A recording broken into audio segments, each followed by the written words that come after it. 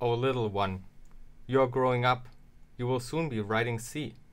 You will treat your ints as pointers. You will nest the ternary.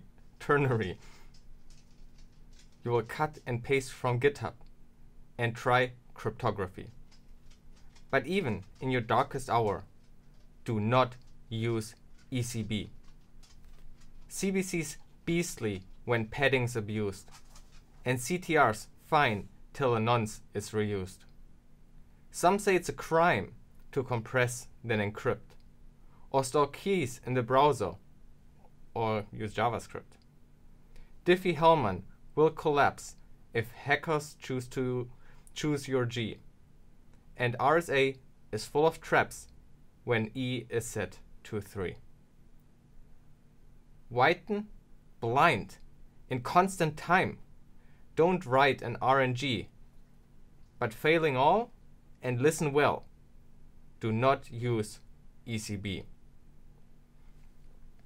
They will say it's like a one time pad. The data's short, it's not so bad.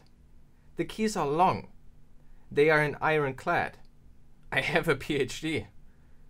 And then you are the front page. Hacker News. Your password cracked. Adobe, Blue, Adobe Blues. Don't leave your penguin showing through.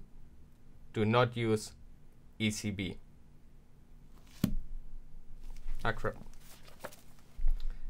413 Ode to ECB by Ben Nagy.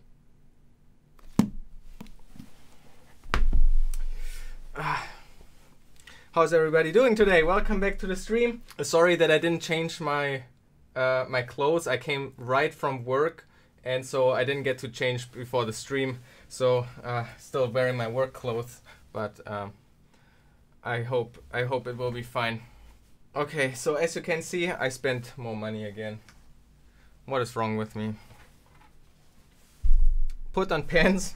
I, I wear shorts. It's super hot.